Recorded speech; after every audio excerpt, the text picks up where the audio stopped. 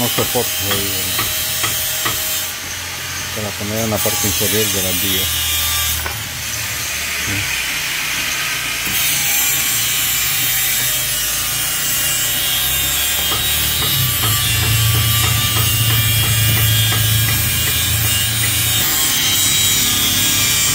¿Qué nota?